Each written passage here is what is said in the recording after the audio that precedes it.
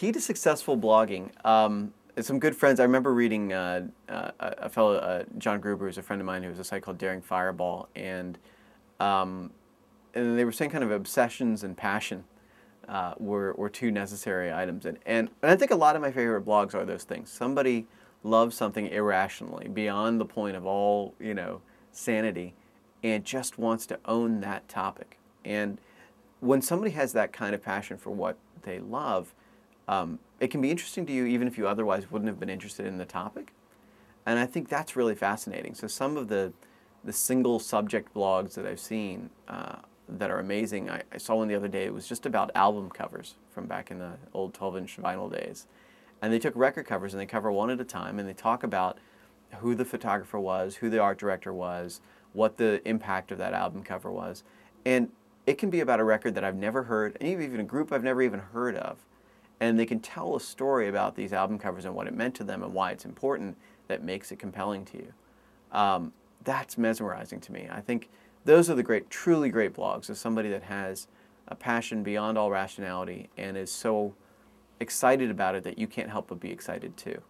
Um, and I think it's a little bit of a bittersweet thing that the blogs people discover first are essentially, you know, news or pop culture or sports, which are things that we've had in you know media about for years, and those are good. I'm, they're fine. I read them. Like I think they're important, but it's always that personal blog that is somebody just telling you about their passion, their hobby, uh, their area of expertise, the thing that they know better than anybody else in the world. Um, those people are the best bloggers in the world to me a lot of times people think getting your your company or your individual ideas visible on the web involves a lot of tricks. There's a whole industry called search engine optimization or SEO, and um, and you know a lot of it's legitimate. It's people doing consulting for you know trying to get information discoverable on the web, and a lot of it is snake oil salespeople. You know they they feel like Google is this angry volcano monster, and maybe if we throw a goat in there, it'll help. You know they just have no idea um, whether what they're doing has any science behind it at all. And as it turns out, the fundamental principles are really, really easy if you want to get a message out on the web effectively. Um, frequently update your content.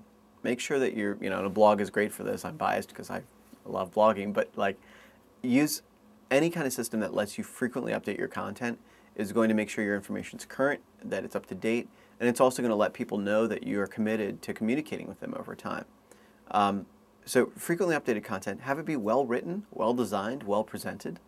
Um, those sound like little things, but the way information looks and how readable and discoverable it is makes a big difference as to whether people want to share it.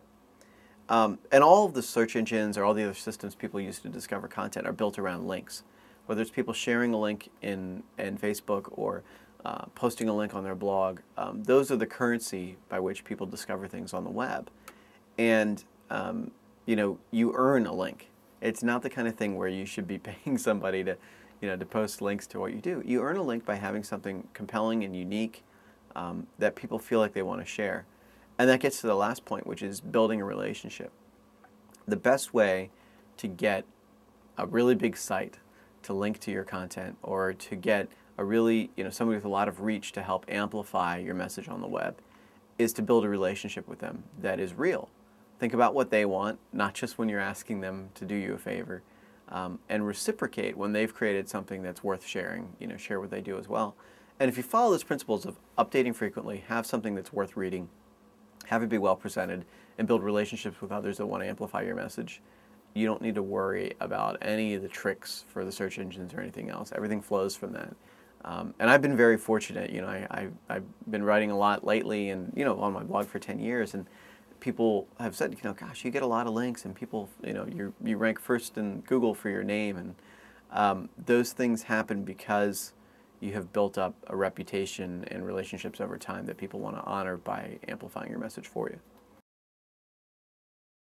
Yeah, I think, you know, I've had the privilege to work with a lot of the best bloggers in the world, and they're all making money one way or another. You know, they have advertising on their site, or they use it to get, you know, speaking gigs or for people to pay for them to consult. Um, it's not always direct, but every door that I've ever had open in my entire career has happened because of my blog. Um, so I could trace back every dollar I've ever earned to being because of my blog, certainly since I've been blogging, right?